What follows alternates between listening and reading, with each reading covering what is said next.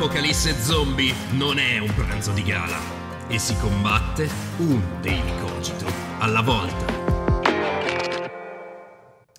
E buonasera a tutta la community di Daily Cogito, benvenuti in questa live in cui abbiamo il piacere di ospitare un, ormai direi vecchio amico di Daily Cogito. Marco, è un po' di mm-hmm. tempo che non ci si vede ai Cogito Studios, però insomma ormai direi che sei un vecchio amico mio e anche di Daily Cogito. Ben trovato, come stai caro? Ciao, ciao Rick, ben trovati a tutti. Mi spiace di non essere lì mm. a Schio, sto bene, mi sto divertendo, sto facendo tante cose, un po' troppe, però insomma sto bene. e infatti, infatti abbiamo provato in ogni modo a incastrare un tuo viaggio qui, ma Ormai, ormai, sei già proiettato nel, nell'empiro dei poteri forti. Peraltro, io ci tenevo a fare il live. Sì, allora live... ti devo bacchettare anche te perché io avevo dato una data a fine luglio, ma tu eri già giustamente nelle tue meritatissime eh, vacanze, io... quindi non mi attaccare che ti attacco anch'io. No, va bene, va bene. Peraltro, bisogna stare attenti qua a dare informazioni delicate, Marco, perché a quanto ho capito questa, questa live è intercettata, giusto? Cioè, nel senso, noi siamo, siamo siamo sotto lo sguardo del Grande Fratello, se non sbaglio, giusto? Siamo on air. Io non so se abbiano eh, sospeso dopo la mia denuncia. Effettivamente quello che ho fatto è di rendere pubblico mm.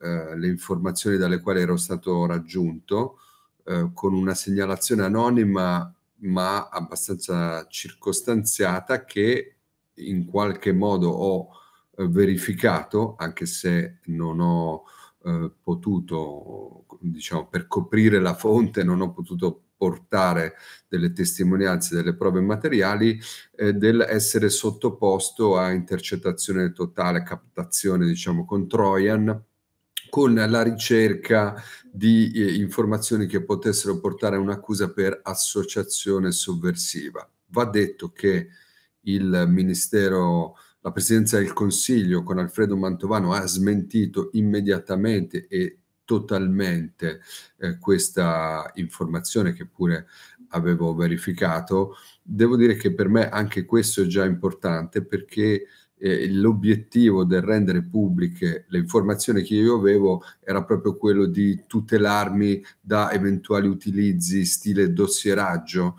uh-huh. di intercettazioni nei miei confronti.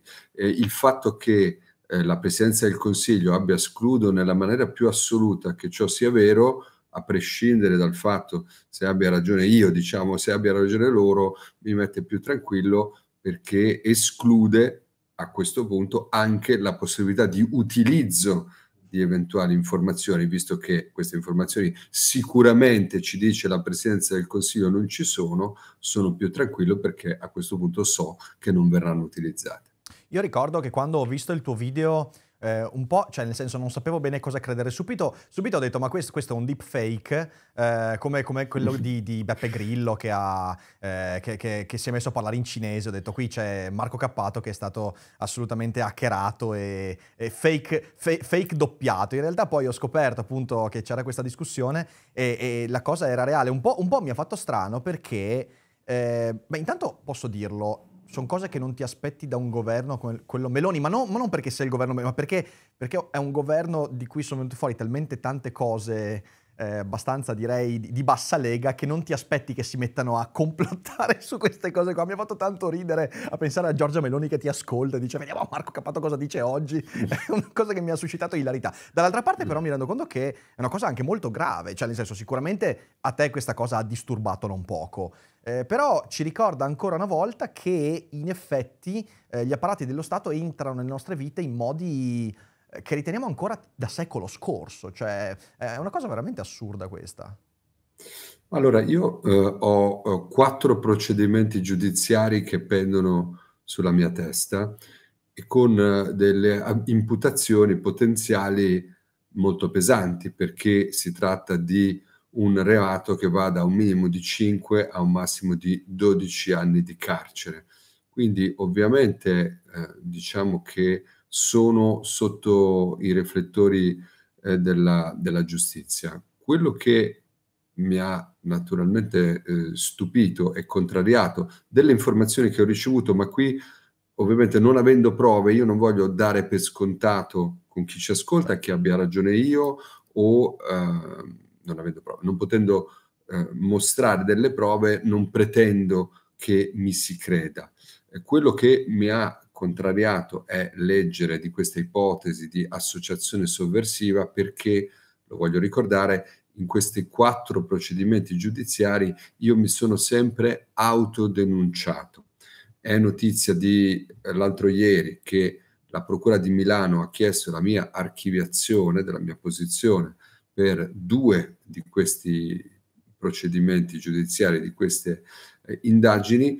Eh, si tratta di azioni che io ho sempre portato avanti alla luce del sole nell'aiutare persone ad ottenere il cosiddetto aiuto al suicidio in Svizzera. Devo anche dire che questa non è più un'attività che porto avanti da solo, perché negli altri due casi non sono stato io ad andare eh, in Svizzera, ma altre tre persone, Felicetta Maltese, Chiara Lalli e Virginia Fiume, nell'ambito di una organizzazione che abbiamo creato appositamente con 27 soci, 28 soci, che si chiama Associazione Soccorso Civile. Quindi effettivamente c'è una organizzazione di queste azioni di disobbedienza civile, ma non è una organizzazione segreta, nascosta, i loro nomi e cognomi di tutte queste 28 persone sono stati consegnati alle forze dell'ordine, l'elenco completo, ogni volta che si è aiutato qualcuno ad ottenere di terminare le proprie sofferenze eh, in Svizzera in, nel rispetto della legge svizzera, quindi voglio rivendicare da questo punto di vista la totale e massima pubblicità delle mie azioni. Sì, non siete un'associazione di carbonari, di massoni che fanno le cose di nascosto, no. che fanno i sotterfugi. Effettivamente una delle cose che io ho sempre stimato del tuo lavoro è il fatto di dire serve fare dei gesti che facciano emerg- emergere un dibattito a livello pubblico. Però qua vorrei allora aprire una questione, perché è anche la questione, diciamo così, che, che mi ha spinto a, a, volere tanto fare questa, questa, live senza aspettare il momento in cui ti liberassi dai tuoi impegni per venire qua. Ed è ovviamente la tua decisione di, di candidarti eh, al Senato della Repubblica. Perché eh, voglio collegare questi fatti? Perché una contestazione che ti è sempre stata fatta, eh, io l'ho letta, l'ho vista in passato, è quella che Marco Cappato è un grande uomo, un grande politico, però si va a impelagare sulle battaglie di principio. Ok, questo l'abbiamo visto, non so, mi viene in mente durante la crisi del governo Draghi, eh, tu facesti la battaglia sul voto elettronico, eh, che era una battaglia legittima. Alcuni eh, questionavano sulla, eh, su, sul, sul tempismo di questa battaglia, dicendo una battaglia importante in questo momento però viene spazzata via dal dibattito politico e altri momenti in cui, diciamo così, che poi anche eh, l'ala radicale, l'ala eh, che, che, in qualche modo ti ha rappresentato storicamente, è una cosa che è sempre stata, diciamo così, imputata questa ala politica. Tu adesso hai, un, un, hai preso una decisione, una direzione eh, che io credo in, in, parte vada anche a rispondere a queste cose Cioè Marco Cappato ha fatto le cose di principio in passato perché i principi sono importanti, però dall'altra parte adesso riconosce anche... Ehm, non so, la necessità di dare un ruolo ancora più istituzionale proprio a queste battaglie. Allora la domanda che ti faccio sì. è, la domanda che ti faccio è Cosa ti ha spinto ad addentrarti in questo percorso che sicuramente ti porterà gioie ma anche dolori, perché insomma non credo sia una cosa così liscia, e, e se qualche anno fa ti saresti mai visto a prendere questa strada? Ma guarda, io non sono mai stato contro i, la democrazia rappresentativa, no, i no. partiti, le elezioni, eccetera. Semplicemente ritengo che ormai la democrazia rappresentativa da sola sia totalmente inadeguata ad affrontare i problemi del nostro tempo, sia per la complessità dei problemi del nostro tempo, sia per il loro carattere transnazionale, nulla di quello eh, di cui si parla ogni giorno, dalle crisi migratorie all'intelligenza artificiale, alle crisi finanziarie, il clima, nulla ha più una soluzione nazionale, nulla riesce a trovare rispostine di breve periodo, no? eh, riassumibili negli slogan elettorali. Quindi, a mio avviso, in sintesi, o la democrazia viene i, i, diciamo, integrata con intanto un ampio investimento tecnologico per la partecipazione dei cittadini, eh, un rafforzamento dei sistemi di partecipazione come referendum, piattaforma digitale, no? per questo noi avevamo non, non il voto elettronico che gli esperti dicono non essere sicuro, però la sottoscrizione digitale delle, delle proposte referendarie di iniziativa popolare, eh, quello sì, e poi ci sono innovazioni delle, de, di riforme Macron in Francia ha fatto queste assemblee di cittadini estratti a sorte, in Irlanda in questo modo sono arrivati all'aborto legalizzato e al matrimonio egualitario. Quindi ci sono nuove tecnologie, nuove forme di partecipazione che se non vengono integrate nella democrazia tradizionale per come la conosciamo, la democrazia tradizionale perde senso e significato. Tra l'altro in questi anni, da quando già da molto tempo che eh, insisto con questa tiritera, i tassi di partecipazione al voto sono crollati perché la gente ritiene sempre più inutile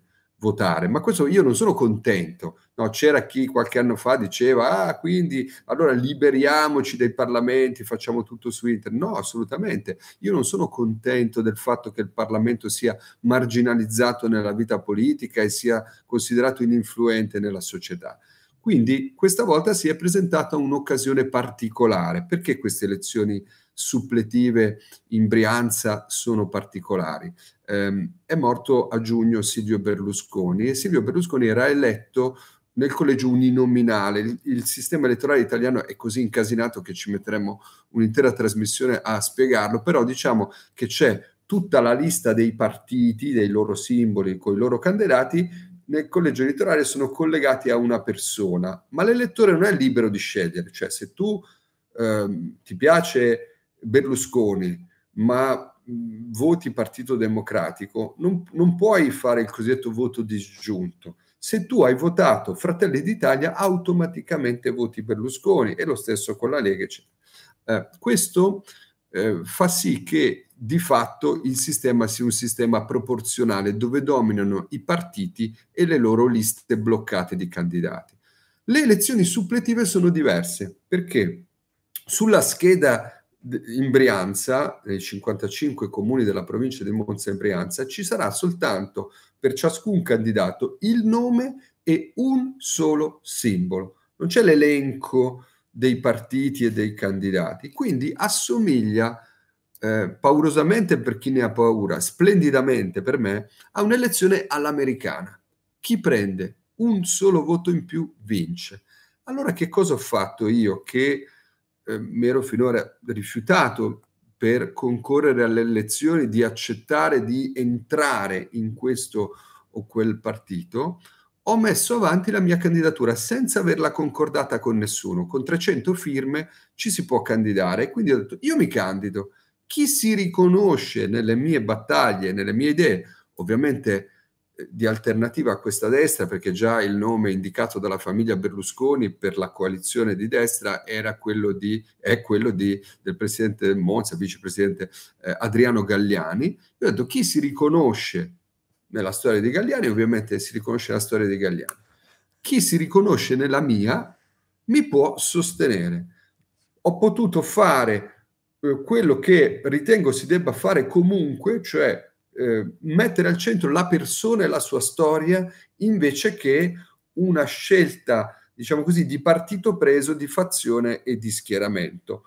Quello che è successo dopo, anche se ci è voluto eh, più di un mese di riflessione, è che effettivamente dei partiti, delle forze politiche che non sono alleate in Parlamento perché fanno parte di opposizioni diverse, che spesso si scornano le une contro le altre, da Calenda a Conte, da Schlein eh, a eh, Magi, socialisti, Volt, radicali italiani, eccetera, tutti questi movimenti politici e partiti sono confluiti eh, sul mio nome e quindi oggi la partita diventa obiettivamente una partita aperta che è, par- che è iniziata da una persona e da una proposta, la mia, con la mia storia, di fianco al mio nome ci sarà un simbolo non di partito, ma ci sarà scritto concappato, che però raccoglie, io non sono ovviamente nemico dei partiti, ho fatto parte eh, di un partito per buona parte della mia vita, eh, il consenso di partiti e forze politiche su quegli obiettivi. No, credo che sia un, un rovesciamento importante che, sai, prima dicevi la storia della persona. Se io vado a guardare invece la composizione eh, del, de, dei leader politici, io mi rendo conto che la storia della persona è passata in secondo piano in modo drammatico. Eh, cioè, nel senso, non, se io certo. prendo, prendiamo mh, Salvini o Ellie Schlein, è, veramente difficile ricostruire una storia, nel senso cos'è che hanno fatto? Vabbè, Schlein evidentemente poco perché ovviamente è appena eh, salita in carica come segretaria del PD, eh, però Salvini, che ormai insomma in carica a, come, come, a capo della Lega c'è da tanto, eh, la, la, sua storia politica, no, tu ti ricordi le spaghettate, ti ricordi eh, le, le, le, le dichiarazioni, però non ti ricordi dei rischi che uno si è preso, eh, delle battaglie di principio. Allora qui, qui volevo proprio certo. arrivare perché le tue battaglie di principio eh, che hai portato avanti in passato, che in passato venivano usate per anche criticarti, oggi diventano ciò che ti fa riconoscere come politico ed è molto importante questo. Perché diventa quasi più importante il metodo del merito delle singole posizioni. Cioè, ovviamente, mi faccio la domanda da solo, no?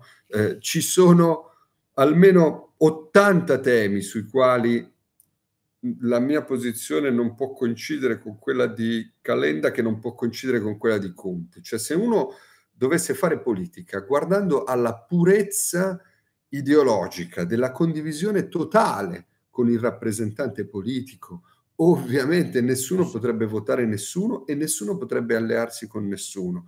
Quindi in Italia purtroppo si fa questo gioco, si dice sempre prima i programmi, no? Poi in realtà prima le coalizioni. Poi vediamo che giustificazione ideologica possiamo mettere dell'esserci alleati o no. Allora è chiaro che alcune mie sensibilità liberali potranno piacere di meno a un elettorato no, più di una certa sinistra-sinistra, alcune mie battaglie sui diritti civili mh, potranno eh, piacere di meno a un elettorato che segue maggiormente le indicazioni del Vaticano sui temi etici, la mia sensibilità di, sui temi ambientali potrei, e potrei fare un lungo elenco di disaccordi possibili. Io penso che se ho una possibilità di battere Galliani è proprio perché anche chi non condivide tutto, mm, mi verrebbe da dire che nemmeno io condivido tutto, cioè tutto quello eh, per cui mi sono battuto e mi batto, in realtà può dire ok, è meglio mandare in Parlamento uno che ci mette la faccia e ha voglia, non, no, non vedo l'ora di entrare lì e portare anche in Parlamento le proprie idee proposte, oppure, e poi c'è l'oppure, no? Adriano Galliani, degnissima persona, molto simpatico eh, e, e, e, sicuramente sveglio, intelligente, molto bravo nel mondo del calcio, è stato senatore. Ok, quindi io voglio poter, se ci fosse veramente le, le, delle tribune politiche dove tu puoi parlare agli elettori, cosa che purtroppo non esiste più, no? a me piacerebbe mettere no, cosa ha fatto Adriano Gagliani quando era al Senato, eh, cosa ho fatto io in questi 14 eh, anni, io sono stato parlamentare europeo da giovane, negli ultimi 14 anni ho fatto eh, politica, a parte il Consiglio Comunale di Milano, ma in, in, uh, in, per strada e attraverso le disobbedienze civili. Ecco, io chiedo alle elettrici e agli elettori della Brianza di poter confrontare delle storie, dei metodi e degli obiettivi. Non è che pretendo che su 155 temi si sia tutti d'accordo. Ovviamente ci vuole un'impostazione di fondo. L'impostazione di questa destra, secondo me, è un'impostazione che guarda alla chiusura, al nazionalismo, poi è necessario andare a patti con l'Europa, con le cose, però eh, c'è quel tipo di società che poi è la società dei proibizionismi, dello stato etico che ti dice no, cosa è bene e cosa è male fare, io penso che un'alternativa a questa destra, con tutte le differenze che in queste opposizioni ci sono, possa essere improntata a un maggiore, una maggiore fiducia sulla libertà e responsabilità individuale e anche a una maggiore sensibilità su temi come quello del rispetto per l'ambiente o della valorizzazione della partecipazione democratica. Prima hai detto una cosa molto importante eh, facendo un cenno alla politica americana, statunitense, eh, che è una politica molto più incentrata sulla persona.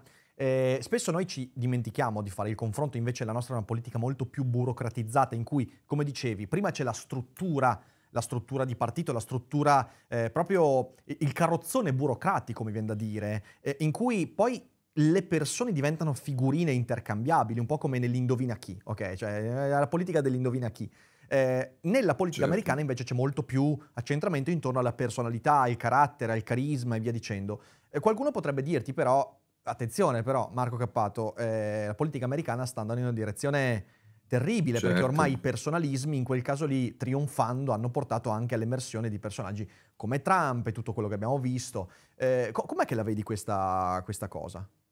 Ma infatti eh, io non sono un, un adepto a critico eh, del metodo politico americano che ha tantissimi problemi diversi dai nostri. Eh, per esempio, il soldo in America compra tutto.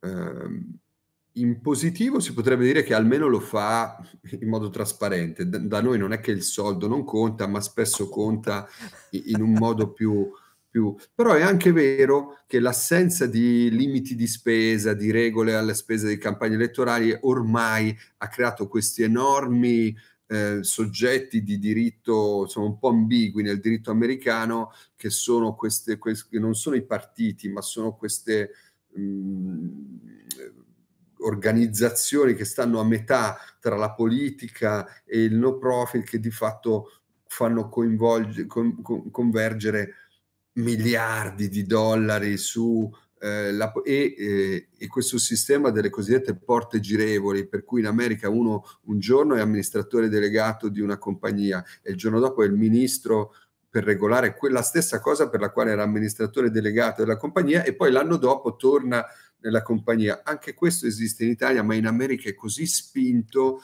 da avere ormai corrotto le fondamenta della politica americana in modo diverso dalla nostra corruzione che sicuramente non è migliore. In più la personalizzazione va governata, ehm, va governata con la partecipazione popolare. Questo secondo me è molto importante perché anche in Italia si sta parlando ora di presidenzialismo, premierato, eccetera. La verticalizzazione del potere è una cosa anche positiva perché ti consente di non aspettare. Se tu devi prendere delle decisioni su temi urgenti, cioè l'intelligenza artificiale in due anni ha completamente stravolto il modo in cui si comunica, quindi non è che puoi dire aspettiamo, ah sì, decidiamo tra quattro anni.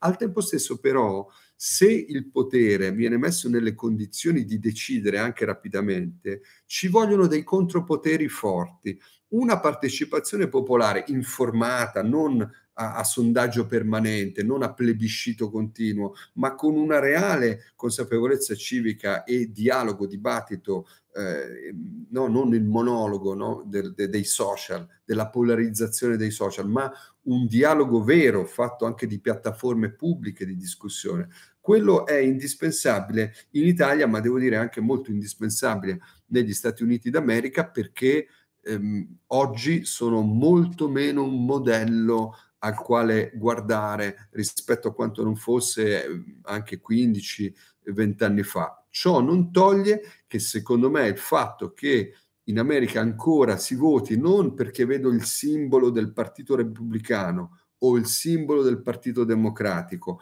ma perché vedo quella persona, certo, che ha vinto le primarie del Partito Repubblicano e del Partito Democratico, quindi è espressione di un filone politico, ma che porta la sua faccina o il suo faccione a giudizio degli elettori, quello lo ritengo un metodo positivo, un aspetto positivo del sistema anglosassone. Sai, c'è, una cosa a riguardo delle elezioni che poi eh, nel 2024 credo che insomma vedremo Vedremo veramente le elezioni più delicate, credo, degli ultimi decenni. Ormai questo lo si dice spesso, ma questo è veramente importante. E leggevo un articolo dell'Economist qualche settimana fa in cui dicevano attenzione perché in realtà eh, queste elezioni, la campagna elettorale comincia con il processo a Trump, perché questo processo sta trasformando gli Stati Uniti, anzi il popolo statunitense, in una enorme giuria.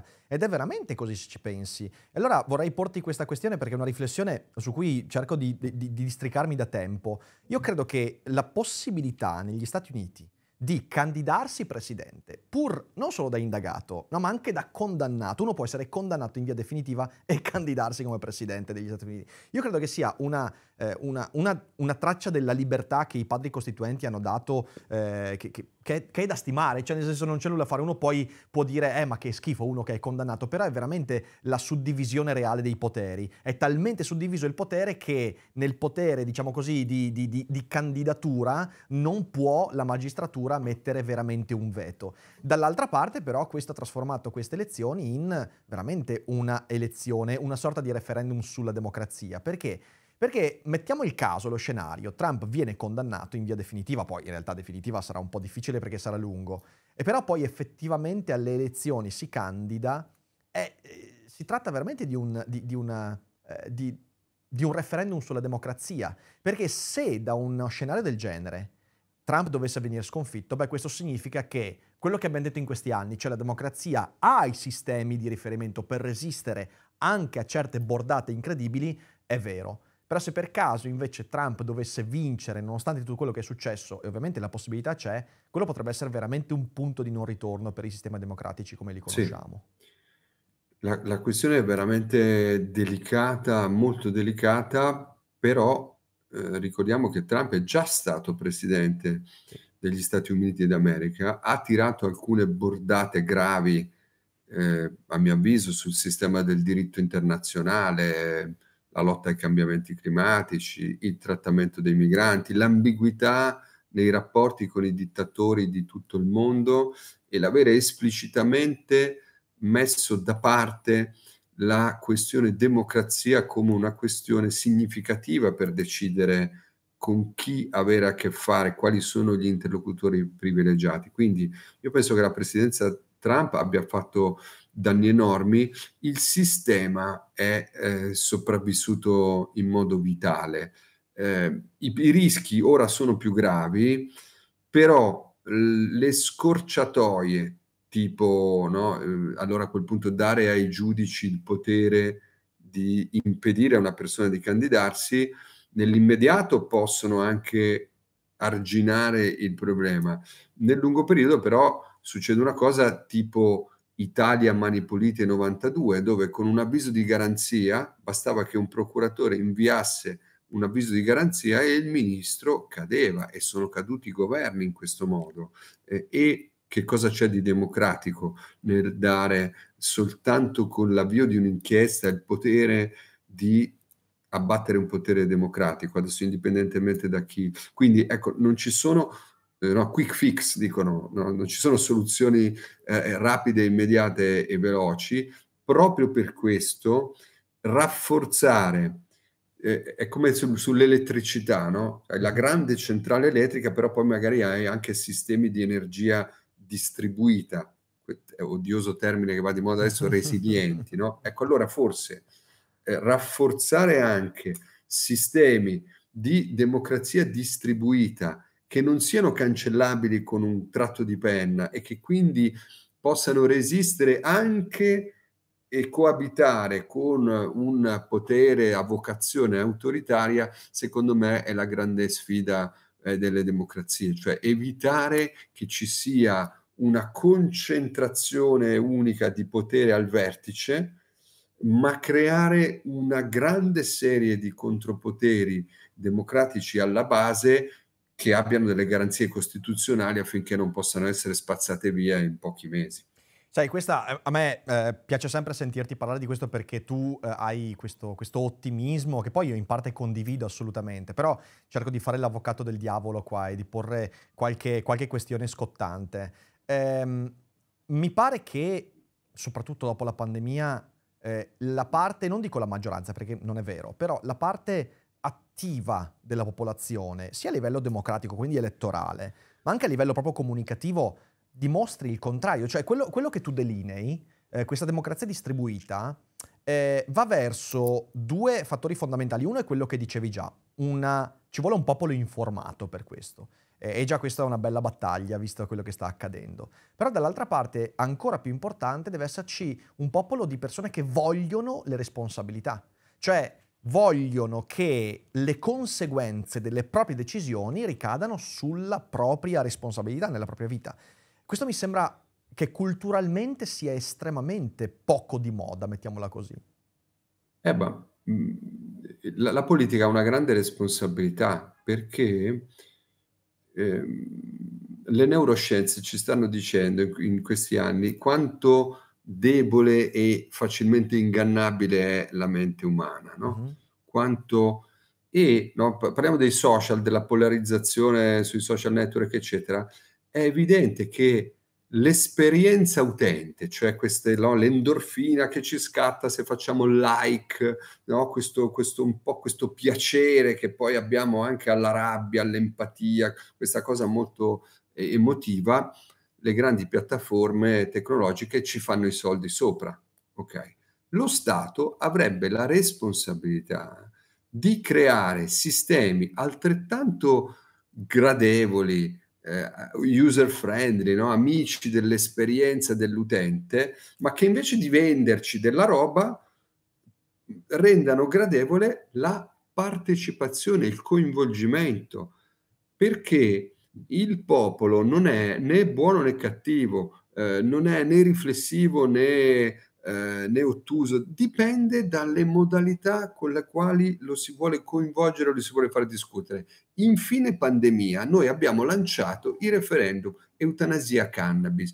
Tutti quanti ci dicevano ma figurati se dopo due anni di pandemia poi ai giovani non gliene frega nulla di nulla, eh, figurati se la gente ha voglia di sentire parlare di... Abbiamo raccolto più firme di quante non siano mai successe nei referendum nella storia d'Italia, perché in realtà c'era una voglia di partecipazione enorme. Certo, poi arriva, non voglio riaprire tutta la vicenda, no? la Corte Costituzionale, Giuliano Amato, Totatom, e quella roba lì, la sega, le conseguenze sono molto serie, molto gravi. Eh, io non penso che il popolo abbia voglia di partecipare o che il popolo non gliene freghi nulla. Dipende dal tipo di investimento che lo Stato, l'Europa vuole fare per rendere più semplice, facile fare partecipare il popolo. Poi è chiaro che quando i temi sono molto delicati e complessi, questa cosa strana delle assemblee dei cittadini estratte a sorte,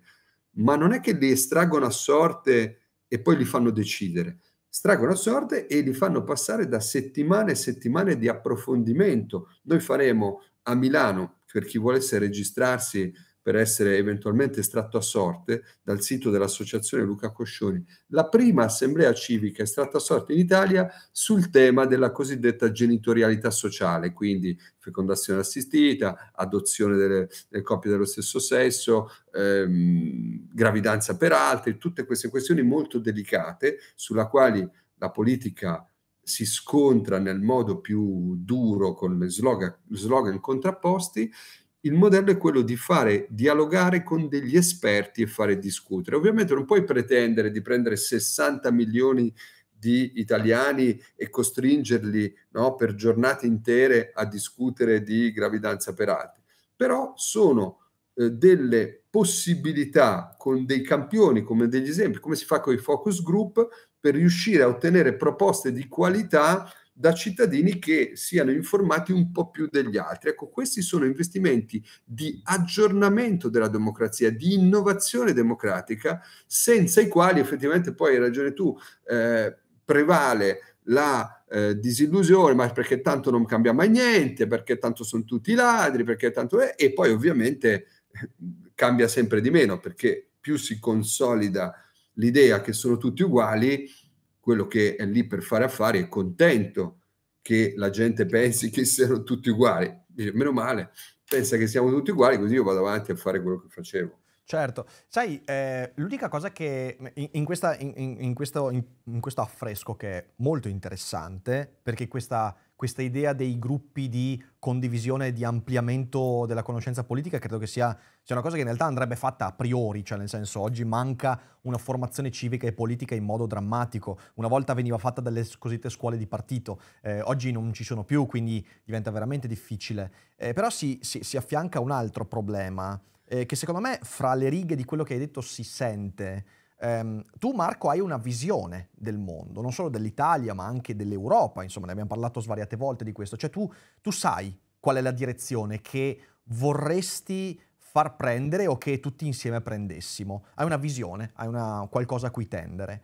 E io trovo che nella politica di oggi, e ne sono una prova, insomma, i Salvini, i Crosetto e via dicendo, non ci sia quella visione. E cioè, la, io la chiamo, è un, è un paradosso delle, delle, scelte paralizzanti, cioè la politica è di fronte a tantissime scelte, però se non c'è una visione, se non c'è una visione di lungo termine, eh, ogni scelta vale qualsiasi altra. Non c'è più un legame, uso una parola che sembra brutta, però ideologico, cioè non c'è, non c'è più un'idea, un ideale a cui far tendere. E quindi questo si riflette nelle persone che quando devono scegliere politicamente, eh, ogni scelta vale l'altra. E questa roba qua è difficile da risolvere. Ma eh, allora, in parte sarebbe anche un fatto positivo l'uscita da camicie di forza ideologiche. Eh, per esempio, vediamo, non so, eh, la contrapposizione ehm, statalismo, no? statalismo, privatizzazioni, libero mercato, eccetera. Eh, ha ancora un valore, non è che sia superata. Però è evidente ormai che c'è un ruolo fondamentale che lo Stato deve giocare nell'economia e bisogna va- vedere diciamo, qual è questo ruolo, no? il ruolo di, non solo di regolatore, ma anche magari di formazione, di aiuto alle persone più deboli e fragili. Quindi eh, lo, lo schema bianco-nero funziona sempre di meno nella complessità eh, della nostra società. Quindi questa è un'occasione in realtà, perché nessuno eh, si sente più totalmente rappresentato da una delega a qualcun altro, perché magari tu mi rappresenti bene sui diritti sociali, però eh, sono contro le tue posizioni sui diritti civili, oppure non mi piace la tua posizione sulla legge elettorale. Quindi i, e le nuove tecnologie sono un'occasione fantastica per governare questa complessità. Questo però non toglie l'altra parte di quello che tu dici che è vera, ci vuole un filo, una chiave di interpretazione che possa in modo non ideologico ma tenere insieme un percorso di proposte. Io temo che in realtà eh, questo governo eh, alcune chiavi le stia dando perché questo riflesso no, pavloviano no, del, del, fatto di aumentare le pene, no? ogni volta che succede qualcosa, strage di Cutro, aumentiamo le pene agli scafisti. Eh, Caivano, aumentiamo le pene anche ai minori, ai loro genitori. Cioè, cioè, uno dovrebbe dire, ecco, ci sono dei paesi dove prima di fare una legge bisogna fare un'analisi di impatto della legislazione. Cioè io dico, ok, vi dico che voglio aumentare le pene per gli scafisti perché mi aspetto che aumentando le pene si produca un certo effetto. In realtà in Italia quello che incoraggia la criminalità è l'impunità che viene dalla paralisi della giustizia. Per cui a, aumentare le pene non ha alcun tipo di impatto poi sul comportamento delle persone, perché in realtà le persone conta sul fatto di non incorrere o comunque che in tempi della giustizia biblici che arriveranno magari a effetto quando quella persona passati 8, 9, 10 anni, io sono stato in visita al carcere di Monza, c'era una persona che era stata appena arrestata per un reato che aveva compiuto 12 anni prima e ormai era un padre di famiglia con un'impresa avviata, eccetera. Io non voglio dire che quel reato sicuramente era un reato grave per il quale doveva essere punito, ma non 12 anni dopo, no? Allora, tornando al punto, mi sembra che ci sia un riflesso eh, verbale, legge, ordine e disciplina come proclama verbale, inseguendo il fatto di cronaca, per cui adesso che siamo con Lampedusa al collasso, non è che qualcuno dice ma com'è andata eh, il decreto di Cutro? Mm, oggi eh no, Meloni è andata all'ONU a dire che la battaglia contro i trafficanti di uomini deve essere globale, ma è come non è che è come la battaglia contro gli spacciatori, cioè che se tu pensi di eliminare le droghe mettendo in carcere gli spacciatori ed eliminare l'immigrazione mettendo in carcere quelli che fanno, eh, che portano le barche per venire qua, ma vuol dire che in realtà non ti stai attrezzando realmente per andare alla radice delle ragioni per le quali le persone che poi si drogano mh, continueranno a drogarsi e semmai dovrebbero farlo in modo sicuro e senza dare i soldi alla mafia, alla camorra e all'andrangheta. Al tempo stesso le persone che vogliono eh, cercare una vita migliore altrove dovrebbero avere la possibilità di percorsi legali dove si inseriscano nella società, nel tessuto produttivo. Quindi non è che manchi cioè anche non avere un impianto ideologico, ma rispondere alla giornata, rischia anche quello di essere una impostazione, cioè il eh, certo. non, eh, la non visione, anche quella è una visione. È la visione di chi pensa, guardando i sondaggi della giornata e le reazioni sui social, che devi sempre rispondere, hanno stuprato la persona, la ragazza a, a Palermo, ecco allora vediamo come possiamo mh, mm, fare il decreto, il decreto, come se questioni del genere non affondassero le radici in no, la, eh, formazione, la scuola, la certo. prevenzione, certo. anche la repressione, la repressione ma, e quindi un sistema gi- giustizia che deve tornare a funzionare perché oggi è al collasso totale perché? Perché le forze dell'ordine sono impegnate a correre dietro a chi si fa gli spinelli, a chi eh, non ha i documenti in regola invece di occuparsi dei criminali veri, i criminali veri sono quelli che fanno male agli altri, non quelli che fanno male a se stessi. Certo, certo. Eh, peraltro questo, questo, è un tema caldissimo perché la trasformazione è sempre più, secondo me, drammatica del politico in influencer. Il politico è sempre più un inseguitore di trend, eh, perché alla fine l'unico sì, sì. valore su cui legano molto spesso, appunto, quando manca la visione, cos'è che vuoi? Vuoi il consenso, vuoi il consenso popolare, quindi tu ti trasformi in influencer, e che è una cosa... L'altra faccia di questo è che poi quando le cose vanno male, malissimo, no? a quel punto Cosa facciamo in Italia? Prendiamo il tecnico, eh sì. no?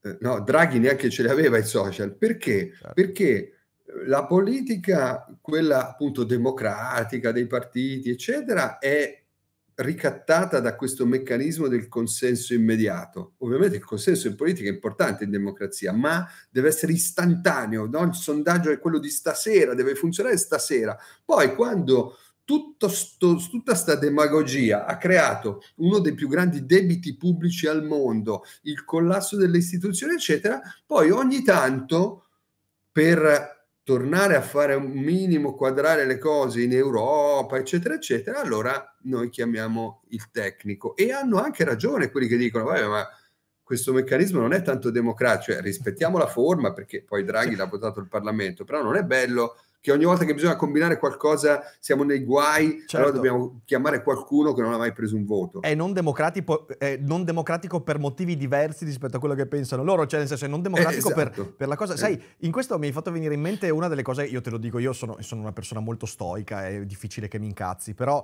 leggendo le cose eh, dette dai 5 Stelle su, eh, sull'inflazione e la, la, lo sconquassamento edilizio in questi giorni, un po', eh, un, un po' non riesco a non incazzarmi, perché quando ci fu la misura del 110%, eh, io feci delle puntate, delle live, ma anche con Boldrini e tante altre persone, dicendo ragazzi guardate che una cosa succederà, anzi due cose succederanno. Uno, che fra tre anni siamo qua e anche soltanto cambiare la tettoia esterna per le bici di casa tua ti costerà il 500% in più e tutti i materiali e tutti i lavori e le ore lavorate costeranno il 500% in più, non ci, non ci sarà nient'altro. Ah, e poi eh, quelli, quelli, che veramente già avevano i soldi si terranno più soldi di prima e viceversa. No, ma stai scherzando, disfattista, no. Adesso sta succedendo esattamente questa roba qua. Chi lavora nell'edilizia lo vede tranquillamente. Io ho familiari che ci lavorano, quindi è sotto gli occhi di tutti. E però noi invece l'inflazione è legata no, alla, alla eh guerra, sì. a questa, è sempre colpa di qualcun altro. Però, paradossalmente, anche Draghi, il governo Draghi, Giorgetti ministro tra l'altro, ha mantenuto Assolutamente. il super bonus ah, in sì, una sì, situazione dove forse la critica, perché è, è più facile adesso dire adesso che la pandemia è finita, ma noi non sapevamo allora quanto sarebbe durata, se ci sarebbero state delle ricadute, eccetera. Quindi secondo me il super bonus istintivamente 110%, allora più, più, a più di 100% mh, mm, non, non, siamo già nell'ordine del fantasy. Eh, cioè. Mi verrebbe istintivo da dire che io ti posso pagare se riconosco il valore pubblico di qualcosa, ma non è che ti pago più di quanto ti è costata. Va bene, questo è un punto di principio. Che ci fosse una iniezione di soldi nell'economia per un periodo molto limitato di tempo, secondo me quella era una scelta giusta. È il protarsi della misura eh, in quella modalità che ha creato una distorsione. Però, com'è possibile che anche appunto con il governo Draghi poi che, che eravamo già in una situazione di emergenza minore di quanto non fossimo certo. con il governo Conte abbia mantenuto, perché era anche lui uscito da quella fase nella quale qualsiasi cosa avesse detto e fatto tutti dovevano obbedire perché sennò andavamo eh, al collasso e quindi lui stesso ha dovuto fare i conti con gli interessi la, la propaganda di partito, eccetera, e quindi in quel caso è cominciato a diventare un punto di debolezza, non di forza, quello di non avere una legittimazione diretta, diciamo, no? di, di, connessione con una forza politica, movimento, eccetera. E, e quindi, quindi, le cose, eh, poi è chiaro che la si può, mh, ecco, la semplificazione assoluta, no? Ah, Draghi cancella la democrazia, eh, non, non aiutano a ragionare perché le cose si interfacciano, ma io proprio per questo un anno fa avevo comunque provato a presentare la lista con la sottoscrizione eh, digitale che hai ricordato tu e lo rivendico perché chiedevo a Draghi di farsi carico di un problema che questa esenzione che alcuni partiti avevano eh, con elezioni convocate in pieno agosto, perché comizi, la consiglia delle firme era il 15 agosto, figuriamoci autenticare decine di migliaia di firme il, il 10 agosto, il 15 agosto, cosa poteva essere, eh, io volevo proprio porre a Draghi una questione di democrazia, cioè attenzione a sottovalutare tu che sei no, il migliore, il tecnico di una capacità, di un'autorevolezza internazionale che nessuno contesta, non sottovalutare quanto poi la questione di come funzionano le dinamiche basse, quelle del, della politica politicistica, di come si fanno le liste, eccetera,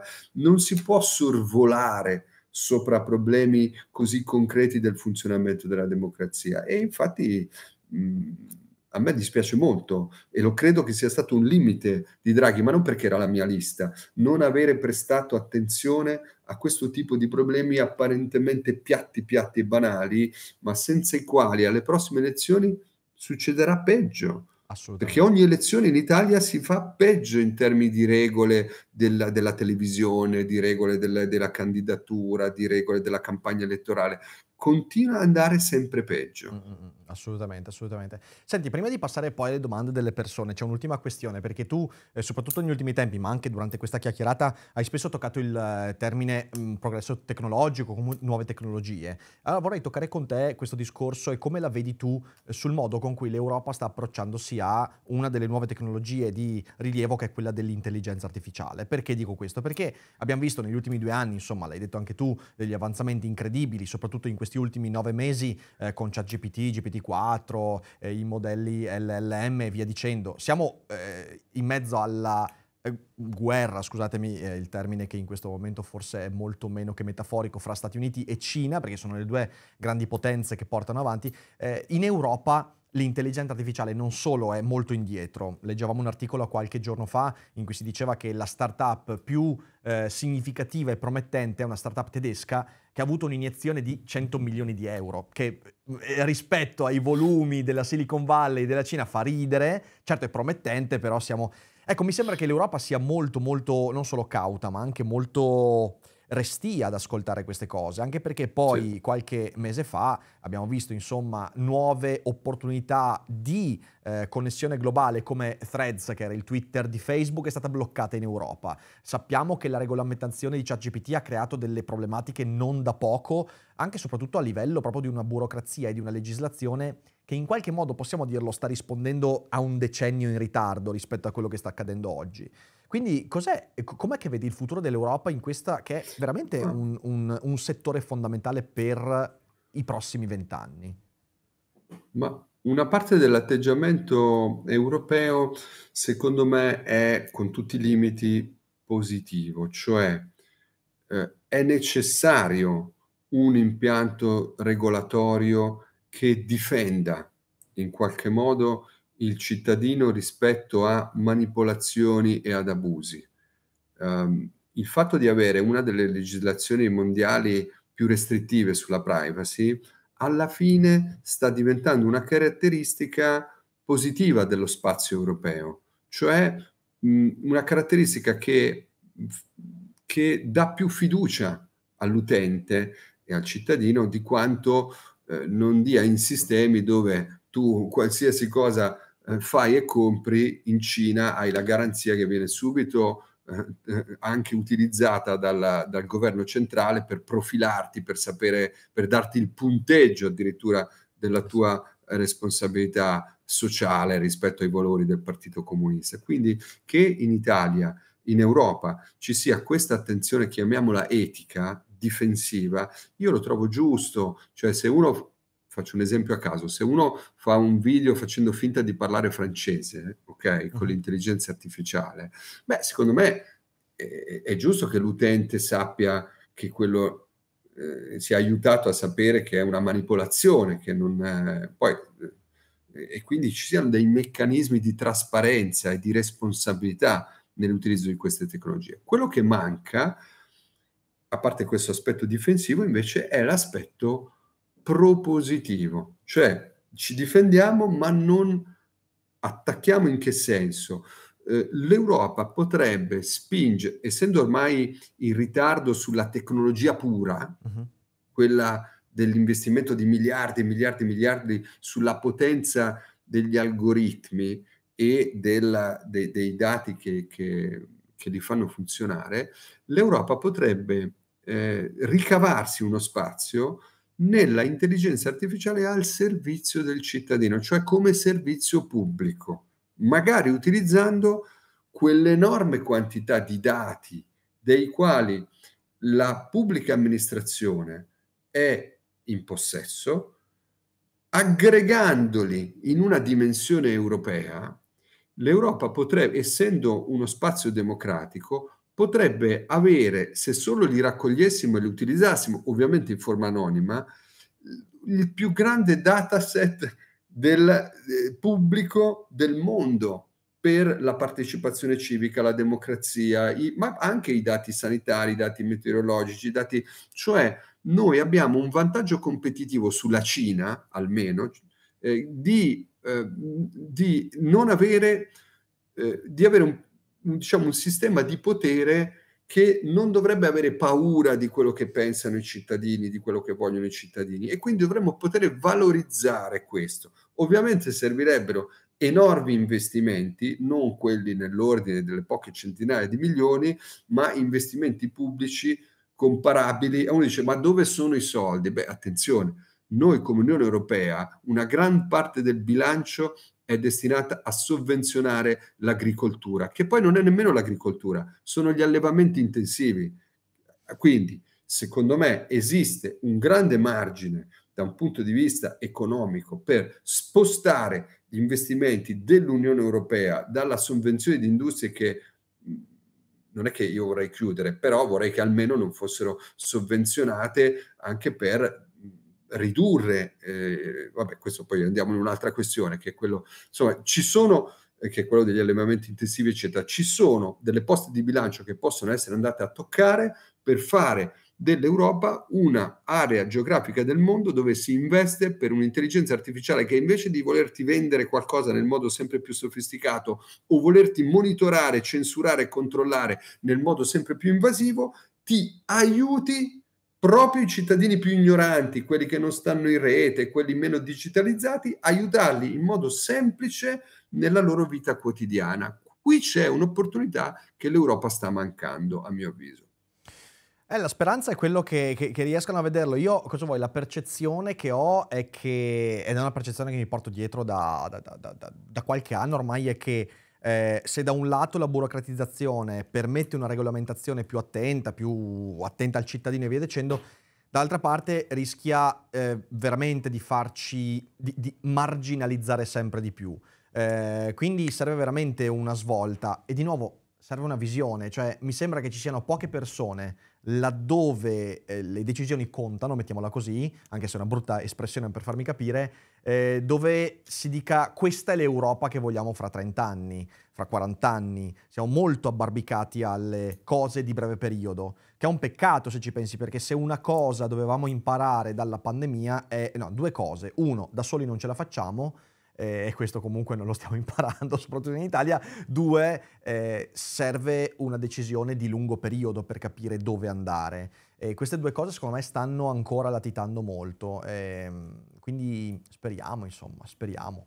Eh, senti qua, Marco, allora io intanto Beh, vabbè, ti faccio un enorme, enorme. Non so come si dice, sai, quando si fa uno spettacolo a teatro c'è il merda, merda, merda. Prima delle elezioni non so cosa, cosa ci sia da dire. Io non sono superstizioso, quindi mi puoi fare auguri, in bocca al lupo. Quello allora, vuoi, ti faccio problema. un in bocca al lupo enorme per questa tua nuova avventura che io spero vada nella direzione che ritieni più, eh, più, più, più desiderabile per te. Eh, te lo meriti, quindi insomma.